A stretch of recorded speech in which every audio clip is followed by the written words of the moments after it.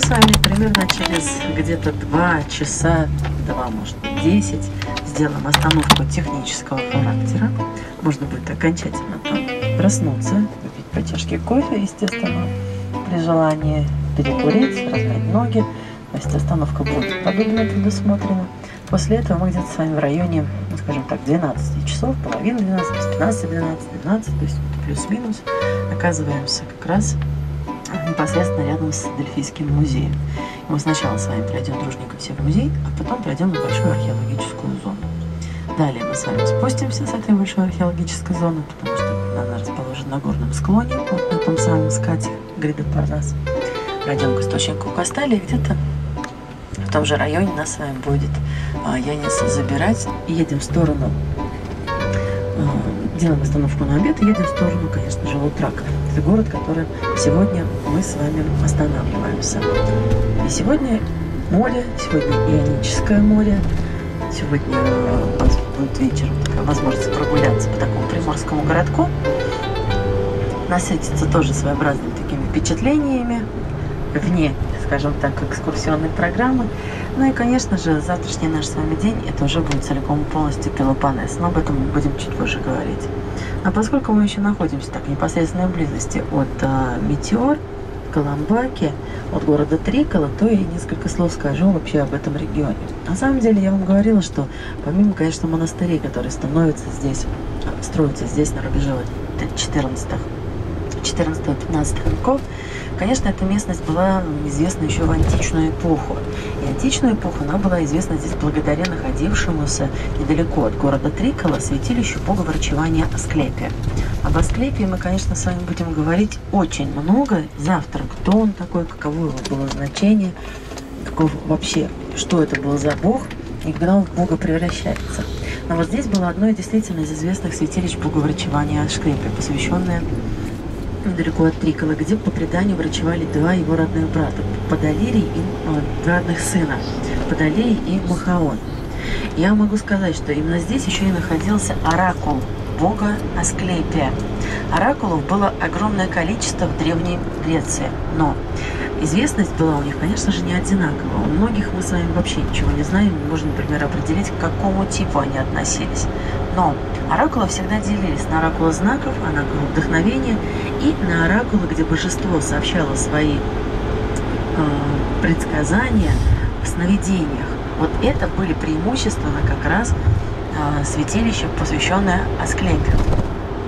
Больные приходили в храм, проводили ночь в этом храме и на утро рассказывали жрецам, которые состояли при этом святилище, они между тем были еще и врачами, о своем сне. И уже эти жрецы-врачи, они трактовали как в одну, так и в другую сторону, то есть предсказывая человеку или исцеление, или, в общем-то, определенную, скажем так, процедуру, которую ему нужно пройти, за которую необходимо, естественно, заплатить, и лишь тогда будет достигнуто вот это исцеление. Так что здесь был тот самый оракул Асклепия. Ну а мы сегодня в большей степени с вами, конечно, будем знакомиться с оракулом именно Аполлона. Это тот самый оракул, который был и должен был вдохновлять человеческие души. Но об этом чуть позже. Водный кофе кто тоже попробовал и Белинико кафе, то есть тот самый кофе по-гречески. Ну и несколько слов. Во-первых, конечно, это один из самых популярных напитков здесь в стране, который, по-моему, пьют в любое время абсолютно года, в любое время суток. И греки, конечно, кофе закупают. Здесь кофе не выращивается. А, кофе закупают в зернах, а вот перерабатывают и обрабатывают сами. И один из самых популярных, скажем так, видов а, кофе будет являться холодный кофе, который называется фраппе. И рецептура была такова, что когда проводилась выставка в городе Салоники, представитель компании Nescafe решил себе сделать чашку кофе. Но оказалось, что были перебои с горячей водой. Горячей воды попросту не оказалось. Тогда он долго не думал, он взял, разми... а, залил Нескафе холодной водой, при этом успев еще и взбить. Вот так, не подозревая, он явил миру и его, естественно, Греции тот самый взбитый холодный кофе, который называется фраппе. И фраппе, он бывает разный. То есть он бывает сладкий, бывает с молоком, бывает средней сладкости, бывает не сладкий совсем. Но я, конечно, потихонечку уже начинаю говорить о Дельфийском святилище, о Дельфах. И вот мы с вами, в принципе, видим тот самый горный перевал, который нам с вами и предстоит, соответственно, а, преодолевать. Я вам уже, в принципе, сказала, что в разных частях э, такого древнего античного мира было много святилищ, где предсказания давались э, вопрошающими. И эти предсказания давались э, с помощью жрецов, которые состояли при, при святилище, или с божеством, которому было посвящено святилище. И вот такие места, они назывались оракулами. Оракулов древней Элладе было огромное количество – но не все они были известны, о многих мы с вами вообще ничего не знаем. И не можем, например, определить, к какому виду они относились. А вот, тем не менее, все оракулы, они делятся по тем способам, по которым давались предсказания. То есть оракулы делятся на оракулы знаков, оракулы экстаза или вдохновения, на оракулы, где божество сообщало свои видения во сне. Ну, наконец, были такие оракулы, которые э, предсказания давались не божествами, а душами умерших, которых специально для этого вызывали. Вот самым древнейшим из всех известных оракулов знаков был Додонский оракул. Местечко Додоне оно находится на северо-западе Греции, недалеко от города Иоаннина. И там когда-то был храм, посвященный Зевсу. И рос близ этого святилища дуб. Именно говоря, что в шелесте листьев дуба Зевс посылал людям всевозможные знамения. А жрецы, которые состояли при этом храме, они толковали тот самый шелест листьев этого священного дуба и говорили, в общем-то, давали то или иное предсказание. Хотя Дудонский оракул, он пользовался, скажем так, меньшей известностью, чем, а, скажем, Дельфийский, но, однако, к нему тоже нередко обращались и отдаленные государства, такие как Афины, как Спарта, как Карин. Также, конечно, оракулы сновидений. К ним относится прежде всего святилище боговрачевания Асклепия. И огромное количество было святилищ, посвященное именно этому божеству, где как раз те, кто хотел получить предсказание, они приходили, проводили ночь, а на утро рассказывали э, сон, который им приснился, потому что говорили, что именно во сне к ним являлся Асклепий и говорил им о их здоровье. Ну и, конечно, самым, пожалуй, э, известным был именно дельфийский оракул, он относится к оракулу, к такому виду, как оракул экстаза или вдохновения. И он-то как раз стоял по своему значению выше всех остальных. И, конечно, именно о дельфийском оракуле мы сегодня с вами в большей степени будем говорить. Святилища, они были посвящены Аполлону, богу света, который как раз а, приписывал свойство просветлять души людей приводить их в такое вдохновенное состояние. И вот в таком вот вдохновенном состоянии произносили слова, которые считались ответом самого Бога на заданный вопрос. И, конечно, эти слова не большей частью были не связаны. Они записывались жрецами, которые состояли при этом святилище. Они облекались обыкновенно, а, ну, по крайней мере, в лучшие времена Элладов в стройную поэтическую форму. Вот в чем чем объяснялся и обуславливался экстаз прорицателей, конечно, не всегда можно было определить с достоверностью. Но абсолютно известно, что все такие прорицалища, они находились в таких местах, где существовали некие явления природы, которым приписывалась какая-то воодушевляющая сила. Например, то есть это были трещины в скалах, которые спускали некие испарения.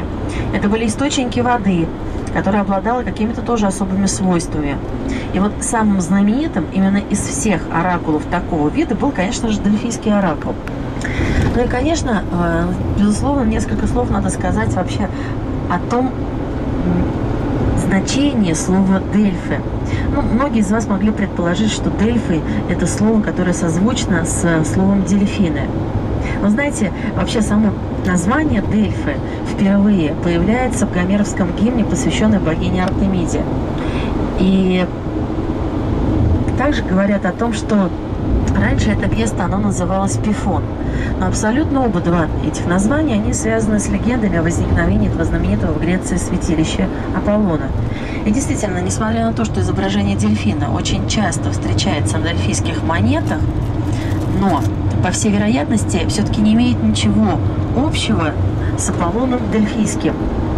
И, скорее всего, происходит от слова «делф», что означает «выдолбленный». А вот это как раз отвечало бы характеру того местного горного пейзажа, который, собственно говоря, мы также с вами увидим. Так вот, согласно дельфийскому календарю, как известно, дельфийский календарь, он имеет критское происхождение. В основу его был положен а, лунный год, который насчитывает 355 дней. И связан а, в связи с этим э, каждые 3, 5 и 8 лет добавляли по одному месяцу. Так вот, согласно дельфийскому календарю, год он начинался с месяца Апелеус. Это в середине лета. Но в то же время в полночь над Дельфами всходило созвездие Дельфина.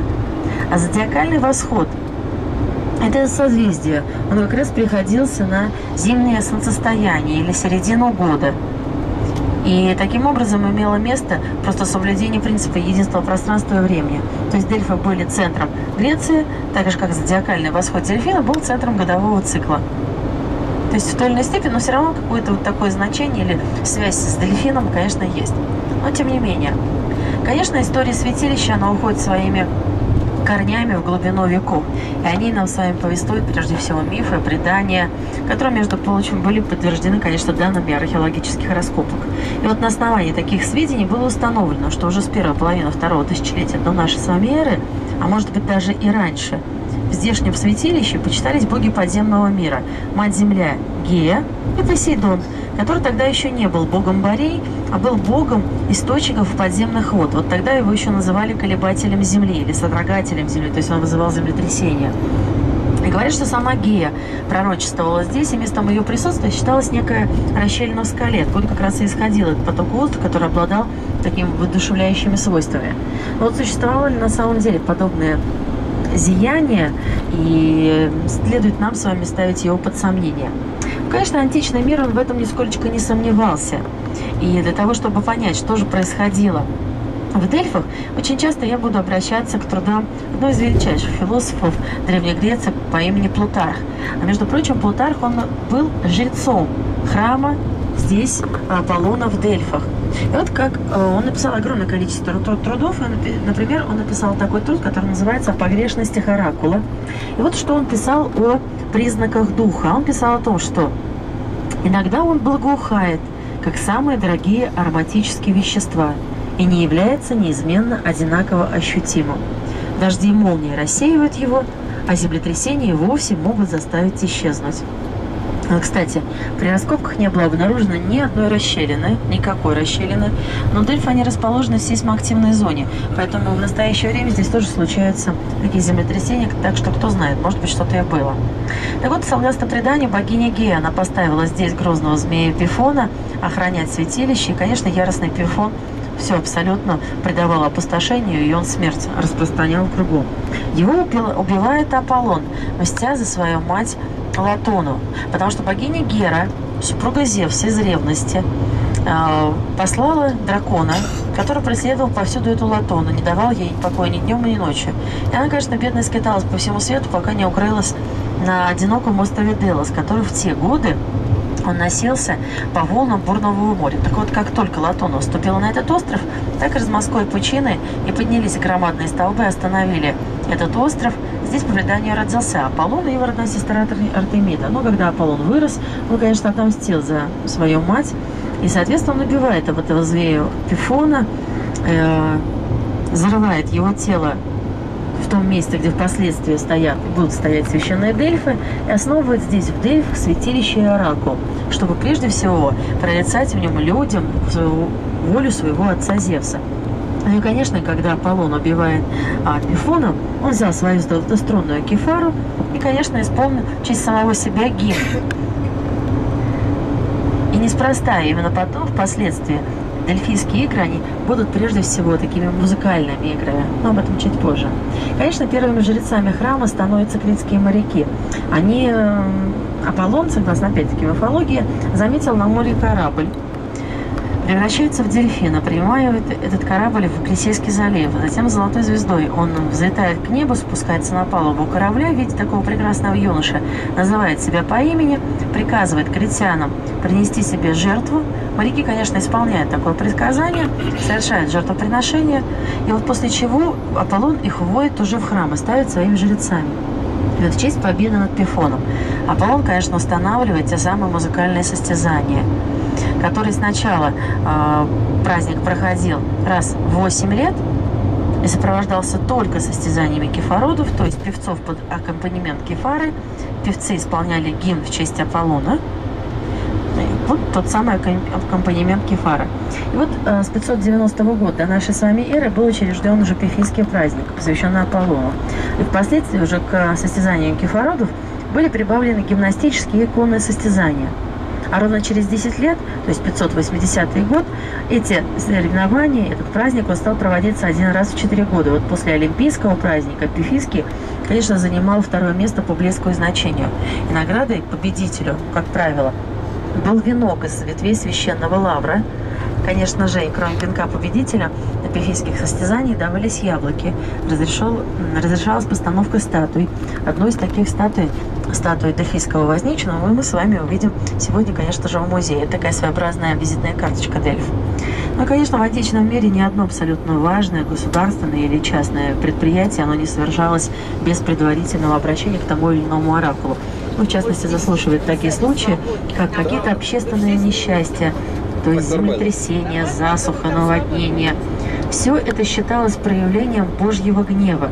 И чтобы узнать о прекращении вот данного гнева, нужно было спросить кого?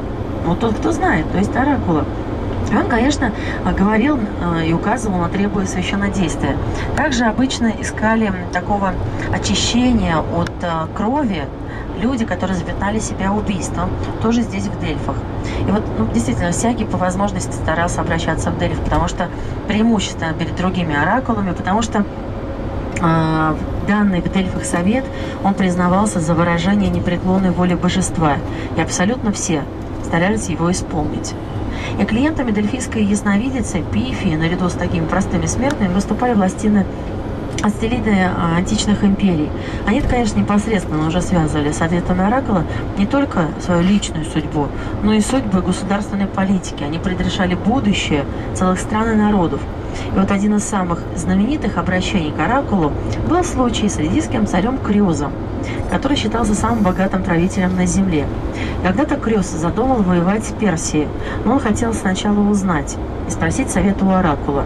Ну, какого? Вот как узнает, как узнать, скажет оракул правду или солжет. И тогда Криос решил испытать всеведение всех тогда оракулов, которые существовали. Для этого он посылает специальных эм, гонцов во все оракулы, и в Дельфы, и в Додону, и на Кос, в Аба, Милет, Пергам, то есть везде. И всем было велено одно и то же – отчитать сотый день от отправления и задать оракулу главный вопрос – что делает сейчас царь Лидия Крёс? Вот что ответили другие оракулы, неизвестно. А вот что ответил Дельфийский оракул, это, конечно, известно. Он ответил вот что. «В море я капли сочту, и на бреге исчислю песчинки. Знаю, что мыслит не мой, и что молвит безгласный. Чую вкус черепахи, что варится вместе с ягненком. Медь вверху и медь внизу, а не посередине». Посланцы ничего не поняли. Но, однако, все аккуратненько записали. И доставили, конечно же, это все к Резу. Когда Крёс это прочитал, он возликовал, потому что из всех ответов этот единственный оказался самым верным и правильным, потому что в назначенный день Крёс занимался тем, что варил в медном котле на берегу моря мясо ягненка с мясом черепахи. Надеюсь или думая, что чего-чего, а вот этого предугадать, но никто не сможет. Но, тем не менее, он всегда тогда в Дельфу посылает огромное богатство сказочное, и тогда задает Оракулу свой главный вопрос, стоит ли ему переходить а, через реку Галис, это та река, которая отделяла его царство от Мидии, то есть от Персии, ну, чтобы начать, естественно, войну с Персией.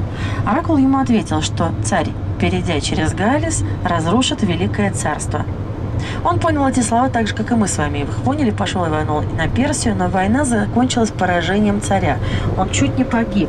И, конечно, он настолько был раздосадован, что опять-таки посылает сюда гонцов в Дельфы и задает им очередной свой вопрос. Ну вот почему Аполлон так его жестоко обманул?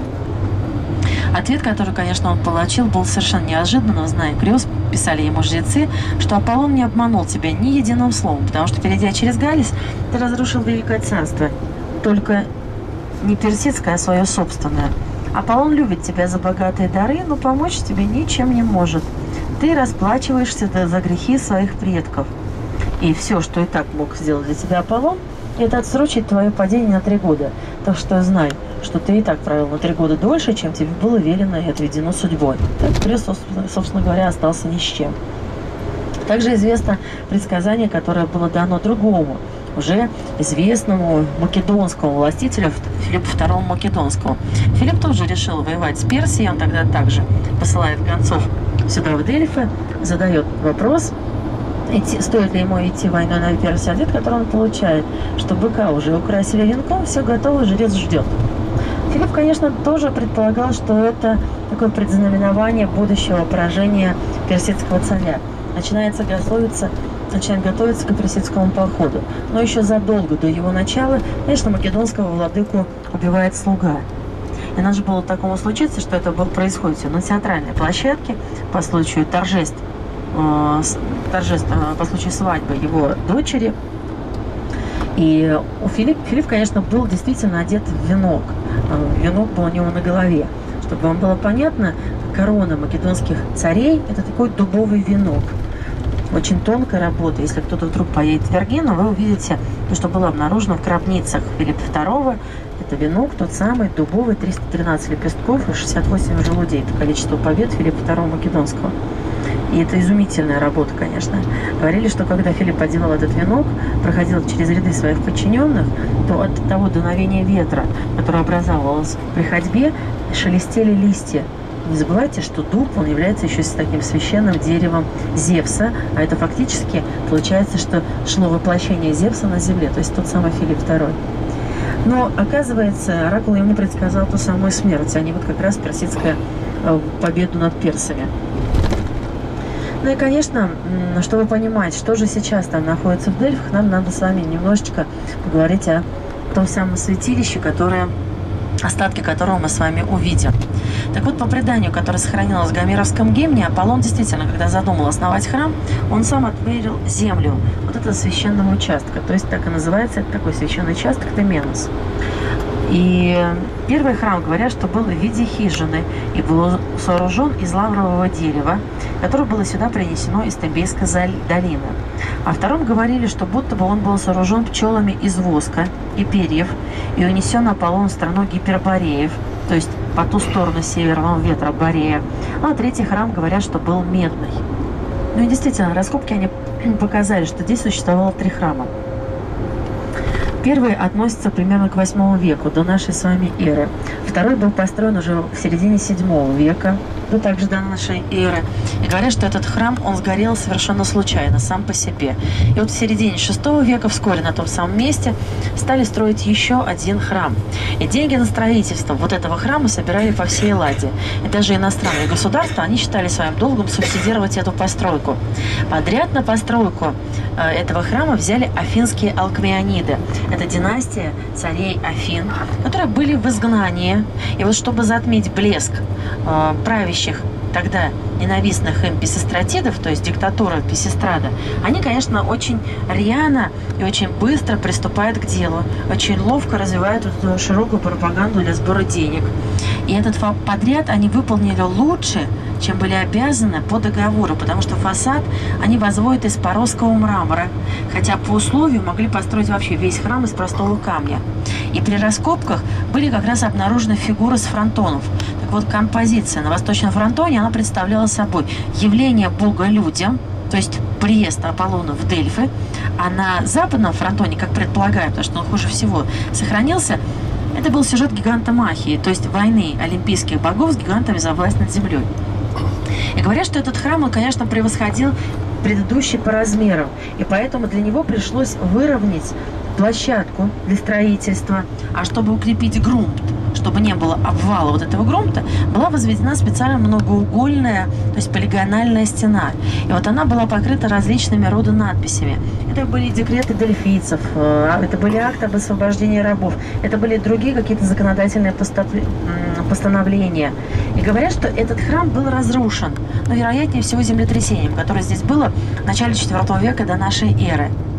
И храм тот самый, получается, уже четвертый, остатки которого мы с вами уже увидим, он строился с середины IV века вплоть до конца IV века, до нашей эры. И это был перикторный, то есть окруженный колоннами храм, выполненный в дорическом ордене. Что это такое? Ну, представьте некую прямоугольную площадку, которая по периметру окружена колоннадой и окружена колоннами, которые называются дорические, то есть дорический орден. Я вам чуть позже покажу просто картинки, тогда все станет на свои места. Так вот, дорическая колонна – это одна из самых первых колонн, которая возникает в архитектуре Древней Греции. Она, как говорят, заменяет деревянные колонны. Она очень мощная, она очень такая плотная. И очень часто потом будут сравнивать с мужской фигурой. Потому что вот те мужские фигуры, которые будут поддерживать части карнизов или перекрытия домов, мы потом их с вами будем называть атлантами. И дорическая колонна, она сразу базируется на площадке. То есть она не имеет никакой базы, никакой основы между площадкой, на которой она должна стоять, и, соответственно, ею самой. Сразу на площадку ставится. Так же, как капитель наверху, это не имеет никакого украшения. То есть это некая плита, которая поддерживает дорическая колонна. Помимо вот того же самого прямоугольника, который со всех четырех сторон окружен колоннадой, внутри было, конечно же, внутреннее помещение, которое называется целла, которое имело, конечно, закрытую абсолютную структуру, только был один вход в нее. Так вот, все плиты храма, все стены целы, они были изготовлены из местного камня, пепельного цвета, а вот колонны, фундамент и некоторые части карниза, они были изготовлены из паралита. Это камень, который сюда специально доставляли морем из Каринфа. Ну, из Каринфа же сюда доставляли и кипарисовое дерево для кровли. И чтобы было понятно, что же такое мы с вами там увидим, я вот такую небольшую иллюстрацию, картинку вам сейчас покажу. Я вам покажу две картинки. Первая нам с вами действительно покажет о том, какой храм, как он выглядел, собственно говоря, и то, что мы увидим. И, соответственно, вторая картинка будет другая постройка. Это будет э, храм богини Афина Проная, которую очень часто сравнивают и говорят, что это Дельфа. Но несколько это ошибочное мнение, потому что это рядом святилище богини Афины. И к Дельфам, вот к оракулу Полона, это место не имеет никакого отношения. Ну, чтобы не быть голословным, я вам как сейчас покажу. То есть дорическая колонна храма Аполлона, треугольная часть, которая, грубо говоря, предшествует крыше, это называется фронтон, и внутри фронтона всегда была какая-то скульптурная композиция, обычно на мифологическую тему. Что это такое, вот сейчас все покажу. То есть это храм Аполлона, сейчас все покажу. Это то, что, то, как он выглядел. Я пройду по всем, всем покажу. Вот это дорическая колонна, вот это фронтон, то есть треугольная часть, которая, говоря, поддерживает крышу. Это внутреннее помещение называется целым. Это то, как оно выглядело раньше. И то, собственно говоря, что мы увидим. То, что было, то, что стало. Да? То, что стало. Храм Афины, да? М? Храм Афины, да? Храм Афины, это да. Это храм богини Афина, то, каким он был. Сейчас я развернусь к вам просто. Каким он стал. Но очень часто иллюстрации ну, показывают, говорят, что это Дельфи. Это не имеет к Дельфи никакого отношения. Так вот, подробного описания внутреннего такого вида храма античные авторы, к сожалению, не особо оставили. И то, что мы, собственно говоря, знаем, это в основном те косвенные, скажем так, э, достаточно краткие данные, которые, в принципе, в той или иной степени, но они сохранились. Так, вот, собственно говоря, что знаем о том внутреннем э, храме и внутреннем устройстве этого храма. Цело говорят, что она закрывалась большой дверью из ценной породы дерева, была украшена слоновой костью. И стены храма, они были украшены также фресками. Не забывайте, что практически все античные храмы, они расписные были. То есть они не были белокаменными, беломраморными, как принято считать. И, конечно, э, Пронаусе, то есть в преддверии, стояло, говорят, что бронзовое изваяние Гомера. И на его постаменте было дано, написано предсказание, якобы данное Гомеру относительно его могилы на острове Иос. На стенах этого пронауса были начертаны изречения семи мудрецов, которые считались полезными людям для поведения в жизни каких-то определенных правил. И вот эти люди, которые древние греки считали мудрецами, они, конечно, а, придя в Дельфы, посвятили Аполлону свои знаменитые и всюду прославленные изречения. И некоторые из них мы с вами прекрасно знаем. Одно из них – «Познай самого себя». другое. Ничего сверх меры. Наблюдай конец жизни. Худших всегда большинство. Ни за кого не ручайся. А, всему свое время. Лучше подделывать деньги, чем истину. Но вот то, что всему свое время познать самого себя, я думаю, что мы все с вами прекрасно знаем. Так вот, эта целая храма, она, конечно, вероятнее всего представляла собой некое единое пространство, в котором стояло два жертвенника. Один из которых был посвящен Посейдону, то есть как супругу изначальной владычицы святилища, а другой в центре целы был посвящен богине Гесте, богине домашнего очага. И, конечно, здесь именно непрерывно горел огонь не только для Дельфа, но и для всей Лады. И огонь поддерживали еловыми травами. Деревушки из Дельф вместе с Пифией. В цели также стояла статуя двух Мойр. А вот вместе, вместо третьей Мойры очень часто изображался Зевс. И назывался тогда он Мойрогене, то есть предводитель Мойр. И в глубине цела находилась уже святая святых, место, где давались прорицания. Вот Дельфийское прорицалище, оно находилось в подземелье, глубоко под поверхностью цела. Внутри оно разделялось, конечно же, на две части. Внутреннее святилище, по словам того же самого Пасания, это путешественник, который создал такие своеобразные заметки по поводу путешествий.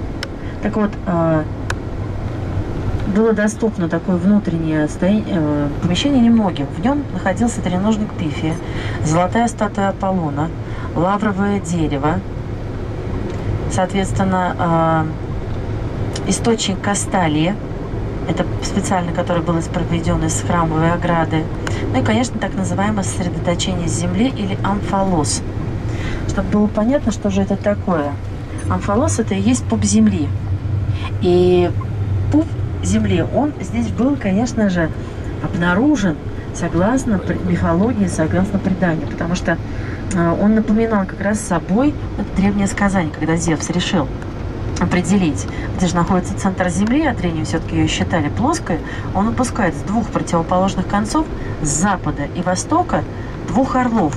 И в той точке, где слетелись эти два орла, был как раз и определен путь Земли или центр Земли. Так что согласно древнегреческой мифологии, находится именно здесь, в Дельфах. И, конечно, в другом помещении святилища находились жрецы, вопрошавшие в ожидании ответов Пифии. Перед храмом стоял же огромный алтарь для сжигания жертв. То есть хорошо понимаете, что алтарь, э, алтари для сжигания жертв они никогда не находились внутри храма. Вся территория вот этого священного участка, того самого Теменуса, она была окружена каменной стеной. И Теменус он представлял собой почти прямоугольное пространство, которое было небольшим по площади, но оно оказалось значительно больше, потому что в силу особенностей самого рельефа местности он оказался просто расположен на различных уровнях с опорными стенами. Таким образом, выиграв некую пространственную перспективу. А его площадь, она просто благодаря таким образовавшимся площадкам оказалась значительно больше в зрительном восприятии. И вот центром такого Теменуса, естественно, являлся храм, которому, делая несколько поворотов, вела священная дорога. И ансамбль этого Теменуса, он складывался стихийно на протяжении веков, но он всегда поражал посетителей своей пышностью, своей гармонией. И вот эта священная дорога, она была по обеим сторонам украшена разнообразными великолепными посвятительными дарами на всем своем протяжении. Тысячи же других посвятительных даров, они располагались в основном вокруг храма по всей территории этого священного участка. И вот по обе стороны этой священной дороги были, конечно, расположены сокровищницы, которые были построены в виде маленьких храмиков. Они строились различными греческими городами-государствами и служили в основном для хранения э, таких драгоценных посвятительных даров.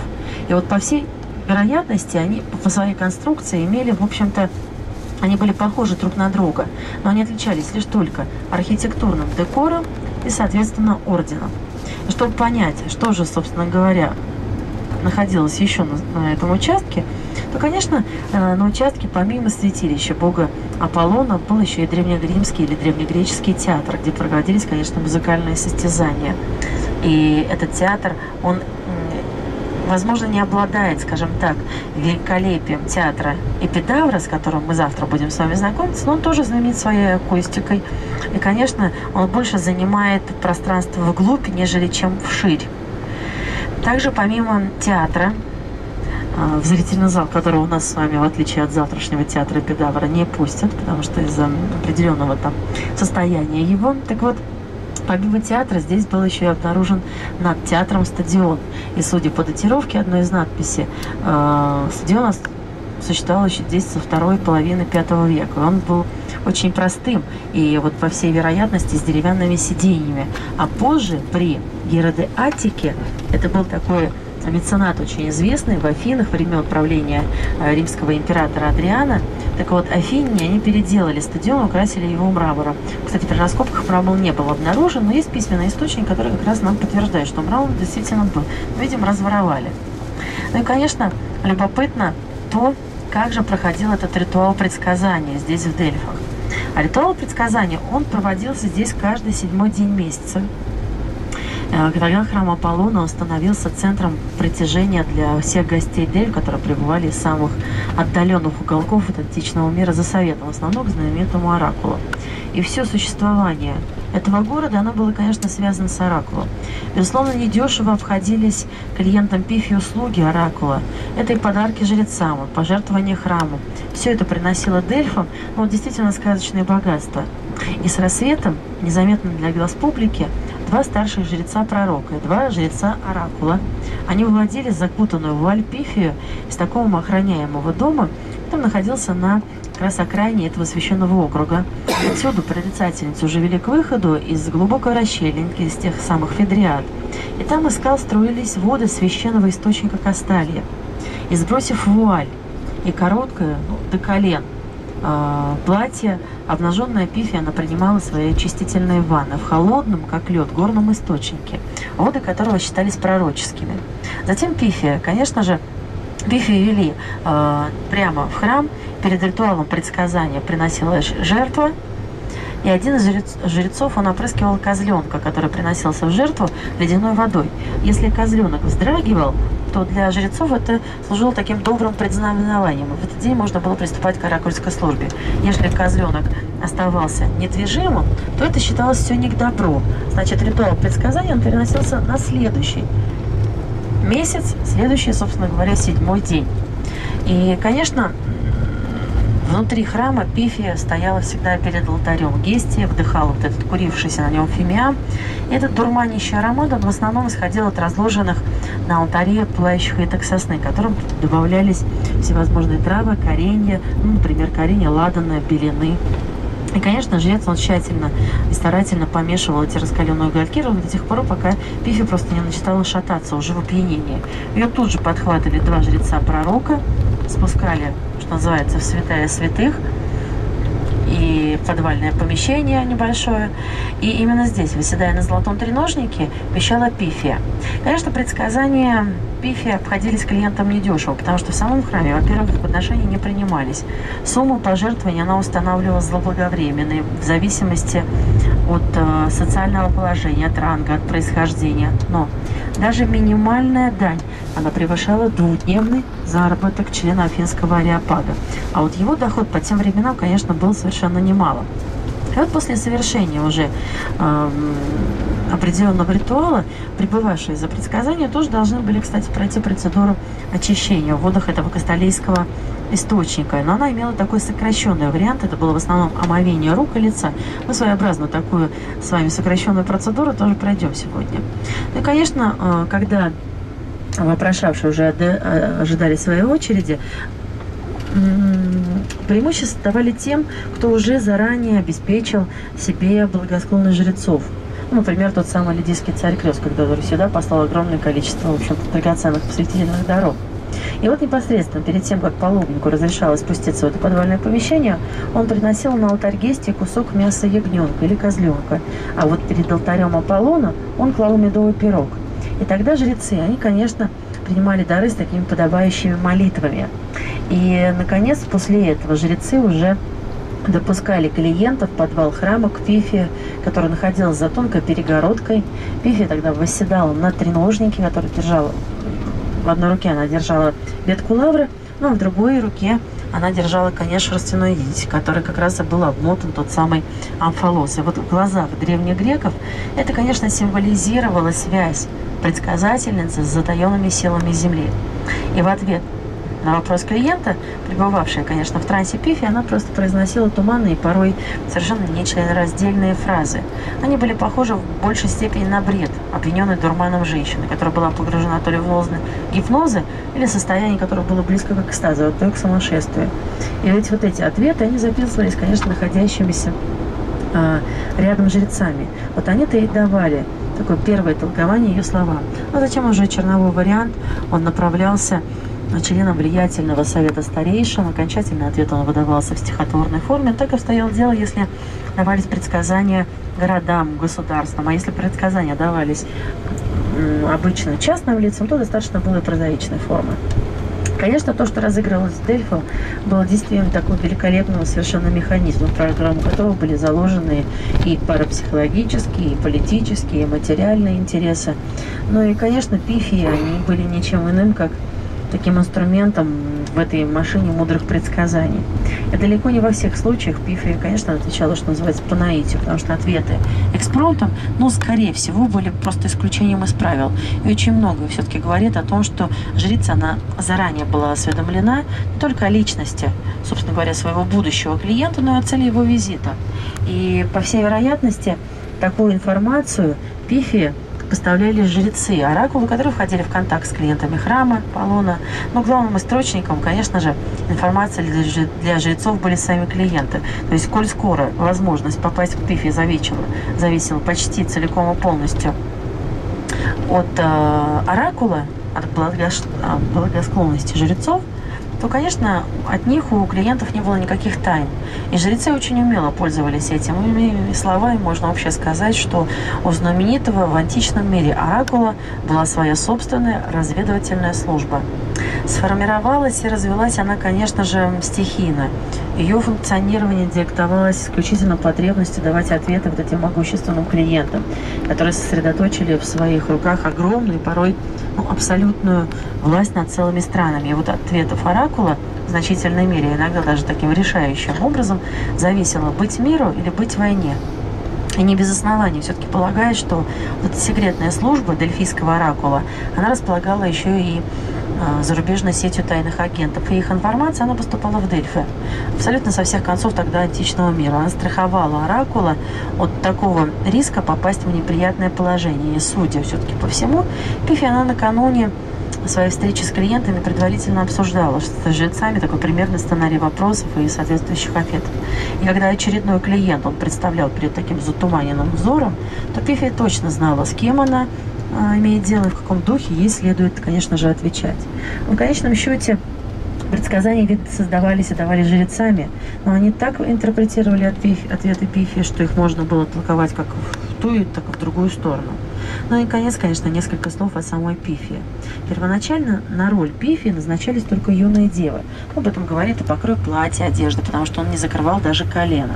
Ну а потом, как одну из э, предсказательниц похитили, изнасиловали, тем самым, э, в общем-то, осквернили храм Аполлона, так, собственно говоря, старшие жрецы, они установили очень строгое правило, что пифия может быть только э, женщина, достигшая 50-летнего возраста.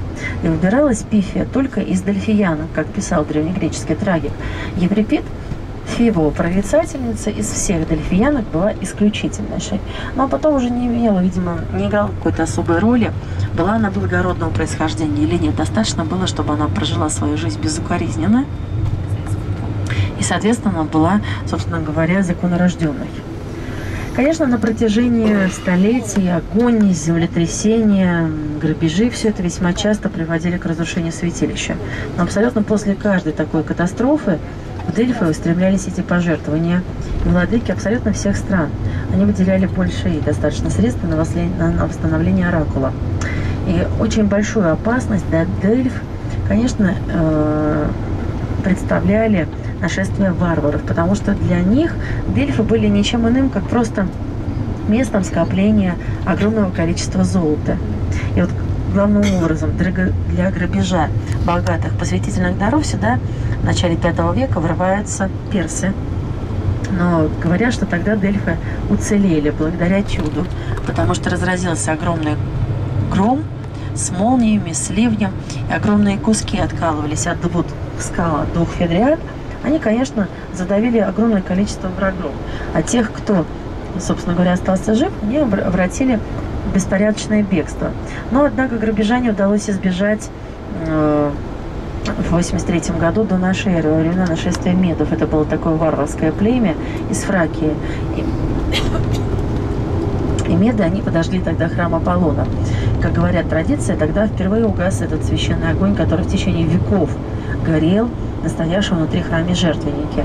Но когда хозяевами Греции становятся римляне, а это второй век до нашей с вами эры, очень страны разделило и Дельфийское святилище. Так, например, в 86 году полководец Сула захватил все, что осталось от предыдущих нашествий, и им же было в Рим отправлено огромное количество э, богатых этих посвятительных даров.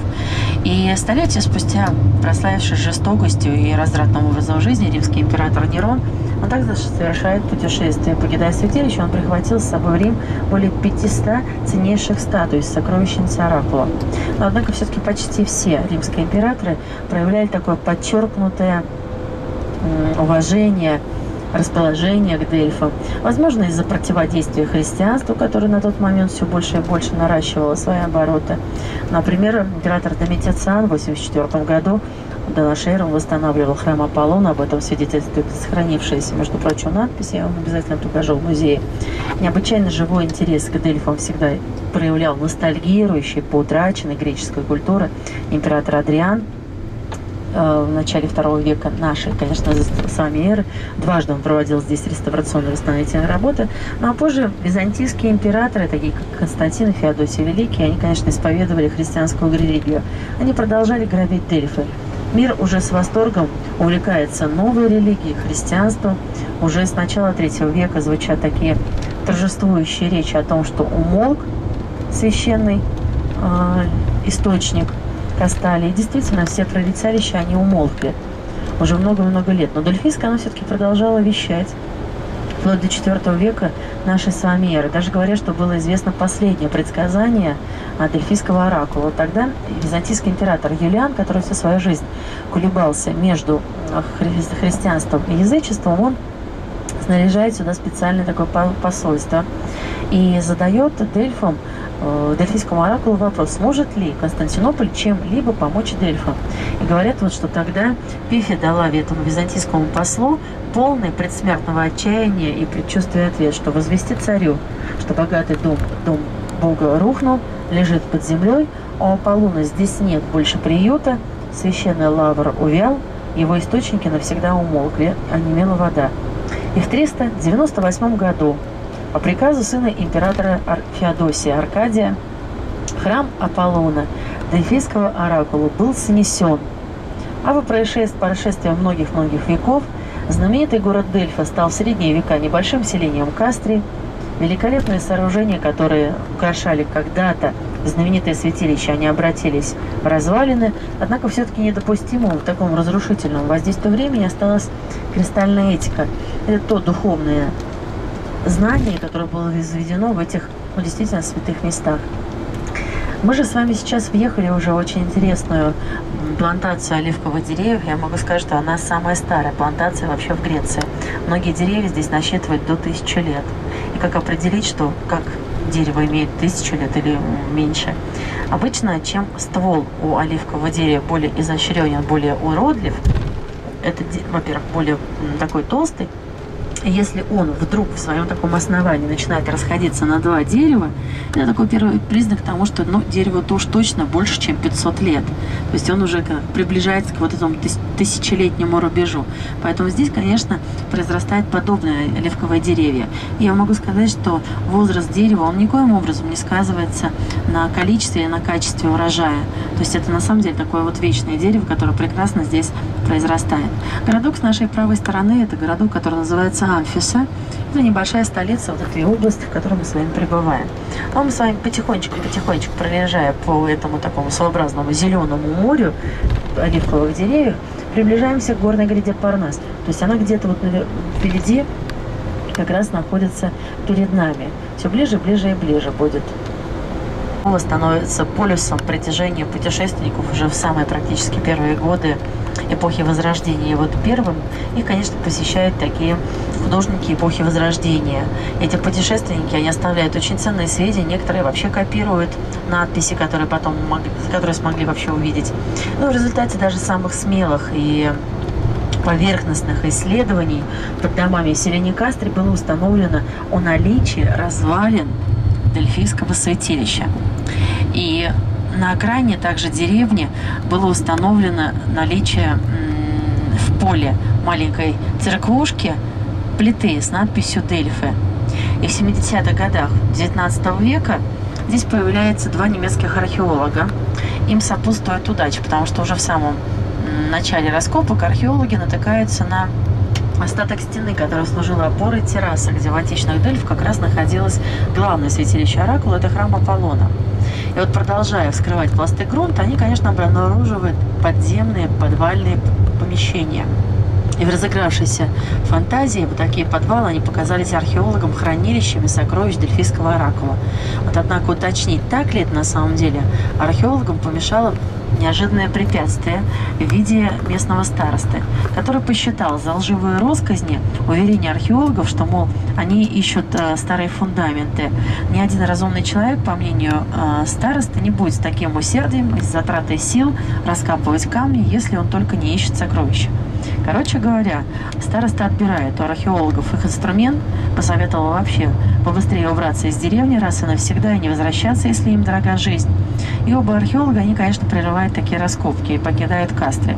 Но систематические же археологические работы, они были возобновлены лишь только в 80-х годах французами. И не безинтересна в этой связи судьба самого горного поселения, потому что французский парламент, он одобрил кредиты на выкуп земли у местных жителей и передачу всей территории, где когда стояла деревня, в пользу греческого государства. Так вот, дома жителей этой деревни, они были снесены. А в двух километрах соответственно, к западу был построен новый абсолютно поселок с таким же самым названием.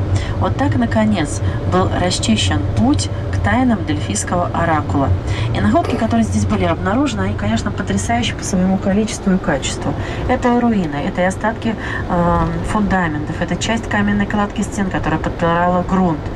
Это часть каменной кладки, это террасы, колонны, это более пяти тысяч надписей самого различного характера, это статуи, это различные произведения мелкой пластики, это очень много фрагментов такого скульптурного декора абсолютно различных памятников. И все это, конечно, произведение исключительно высокой художественной ценности. Это то, что мы с вами, конечно же, сегодня увидим в Дельфийском музее, с которым более подробно будем знакомиться. Ну, впереди у нас с вами уже с левой стороны, слегка по диагонали, это горная гряда Парнас.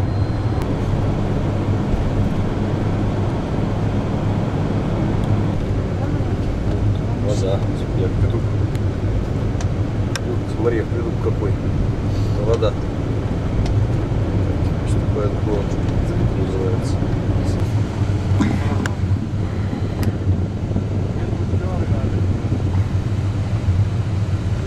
Вот если вы посмотрите вниз, вот с правой стороны вы увидите, во-первых, конечно, очень красивая дорога. С правой стороны вы видите и водный канал такой, он облечен в, такой, в бетон, а, вода. Здесь это самотеком спускается источник, источники воды, чтобы они не просто куда-то вытекали, питьевая вода, они э, были облечены в такие бетонные каналы, и, соответственно, самотеком вода идет вниз, орошает э, землю, используется в качестве питьевой, с левой стороны сейчас ее тоже видно, э, в качестве питьевой воды для, естественно, питания города, который расположен на побережье, городок это называется Этеа. Если вы также внимательно сейчас посмотрите, внизу мы с вами видим вот это зеленое море оливковых плантаций, ну и где-то с нашей также левой стороны, сейчас наша дорога повернет, с нашей правой стороны, вы видите, конечно, уже Каримский залив, Эгейского, о, Ионического, прошу прощения, море.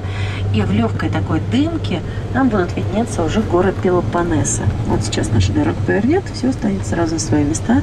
С нашей правой стороны это Каринский залив. Ионического моря, городок Этея, зеленое море оливковых деревьев, а там в легкой дымке вы можете видеть город Пелопоннес. Это уже Пелопоннес.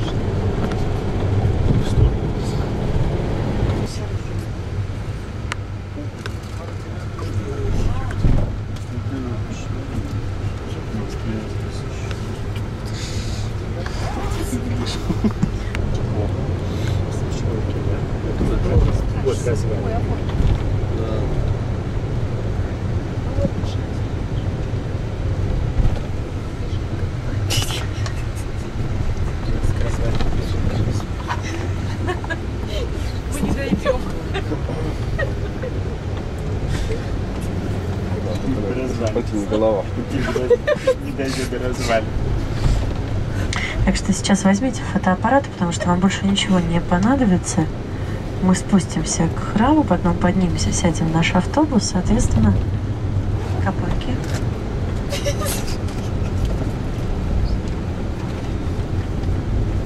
Потом поднимемся. Здесь, здесь.